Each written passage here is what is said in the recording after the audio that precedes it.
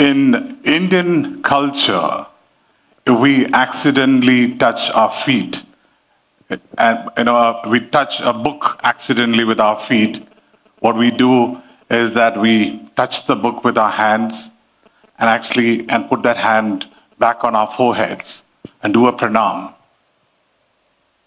I still remember my school days where I was waiting for the new books of the year to arrive.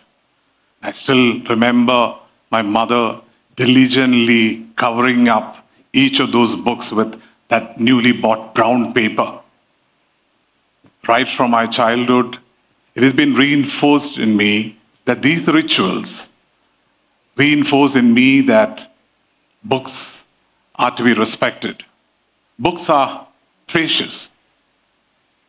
You know, I, if I go to a, a mall, if I go to a, a, a new city, I think the, the place that I love visiting is the bookstalls in uh, those places. And I still remember 25 years back, I had nothing much to do on that afternoon, so I decided to go to my favorite bookstore in Mumbai. And since I had a long time, so I even took a stool and sat down on that stool to look at even the books that were, you know, at the bottommost layer of, of, of the, you know, the books, the, you know, the stall. And I saw one book that had sort of just fallen down there. And I picked that book up. I looked at the headline, and the headline said Influence The Psychology of Persuasion by Robert Cialdini. I've not heard of this book before. Um, uh, you know, I, obviously, I've not read of this particular book ever before, uh, so not even heard of it. But I said, oh, this is interesting. I picked up the book. I went back to my room. I read this 300 page book overnight. And this book changed the course of my life. Because for the first time, a book told me that if I have to understand human behavior, I need to understand the human, the functioning of the human brain. Because that is where all our thoughts, all our act, behaviors are being generated. This book also gave me a whole lot of practical examples of people who really understood intuitively the functioning of the human brain, how they've used that understanding to do a, a whole lot of persuasion strategies in the, in the streets around this country. And in my quest to understand further about the human brain, I picked up this book, Phantoms in the Brain by V.S. Ramachandran, the head of neuroscience and psychology at the University of California, San Diego. And I started reading the preface of this particular book. And in the preface of the book, there's a question Who invented telescope? Even before reading the next sentence, I said, ah, I know the answer Galileo. But the next sentence said, No, Galileo did not invent telescope. Telescope was invented in 1608 by Hans Lippershey, a spectacle maker. And the next years after the invention, it was a huge hit across all the fairs in Europe. Because all the people stood in queues to see this new uh, you know, instrument that has been created, which could allow ships that are parked far away in the port much closer by. And Galileo heard of it. And Galileo told Hans Lippershey, Can you make one for me? He did. And all that Galileo did was he took that telescope and just changed the angle in which people have been using that so far. And when he started turn the angle in which he looked through the telescope, he saw a world which was very different from what the world has seen so far. Just a preface of a book. Just a preface of a book told me that innovations are not about creating something new, it's all about just changing the angle in which you're looking at things. This book, of course, told me why the Nataraja statue is designed that particular way, why the fingers on our hands are the most sensitive part of the human body.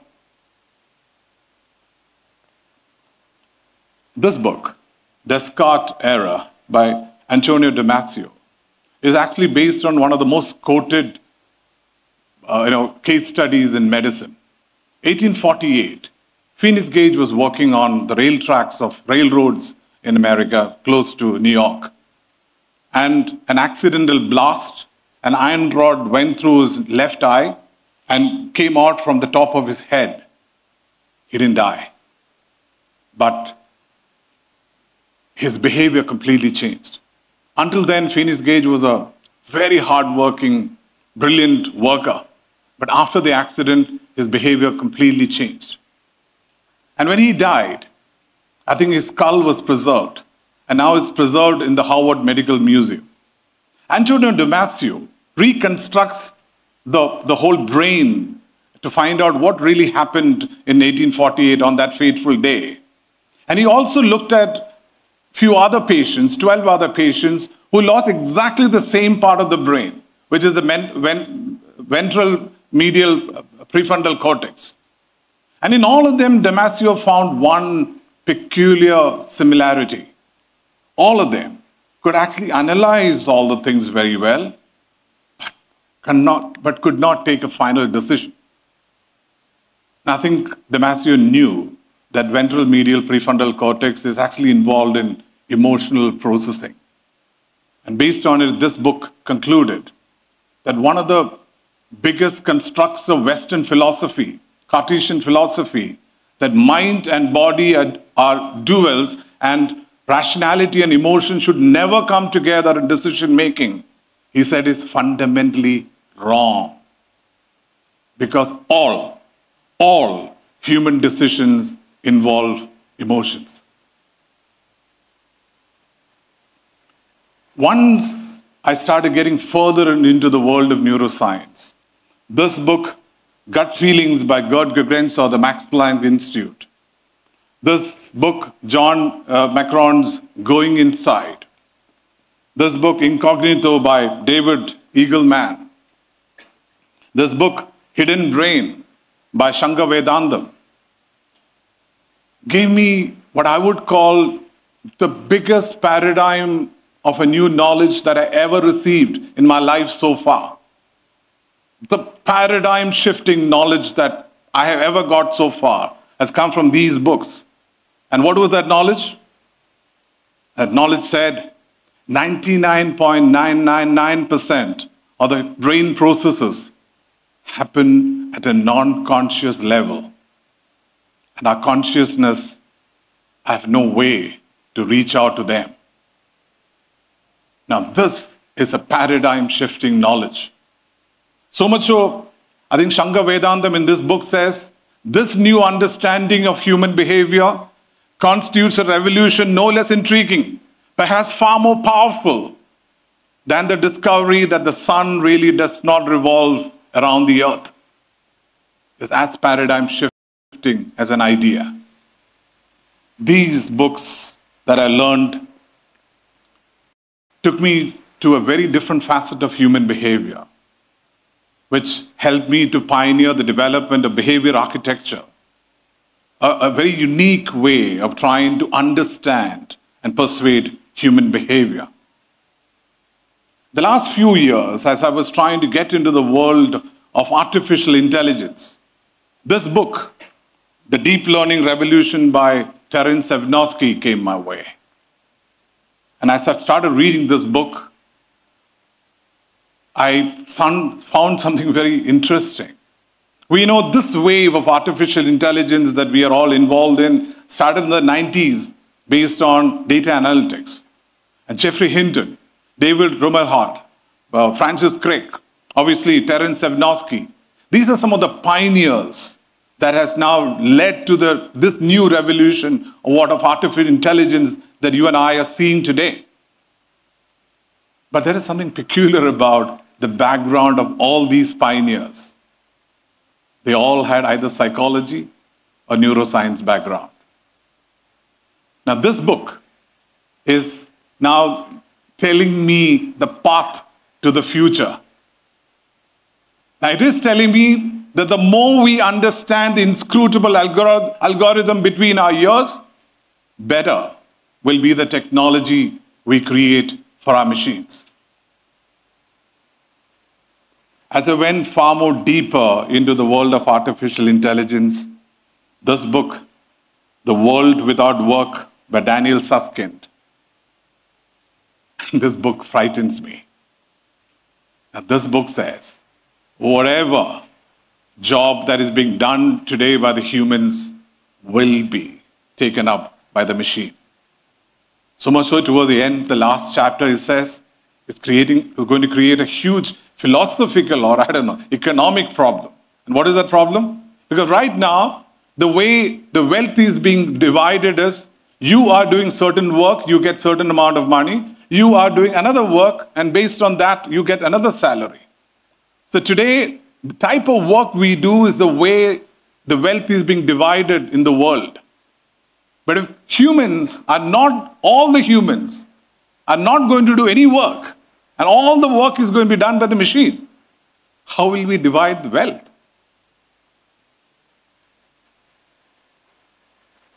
I think when I, when, when I look at these books, I am realizing that, yes, there's a lot that it has helped me to build my career.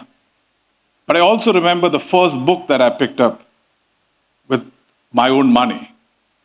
It was the Holy Bible.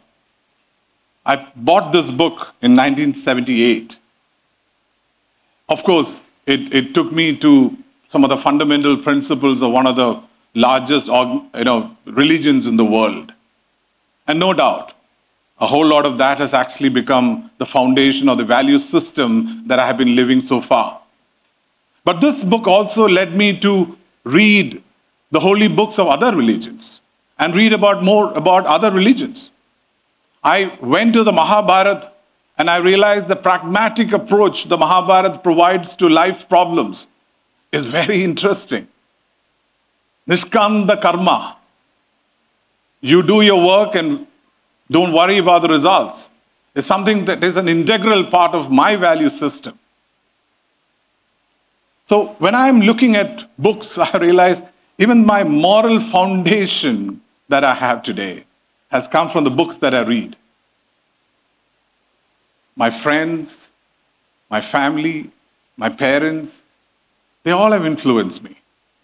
There are different events in my life that has influenced my life.